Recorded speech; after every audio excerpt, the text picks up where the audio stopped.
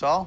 Well, what do you want me to say? I don't know, Cisco. If I did anyone, you'd be a little more understanding of my predicament. I don't belong here. It's like living amongst the dead. Is that what you told yourself when you killed me? Forgive me. But to me, you've been dead for centuries.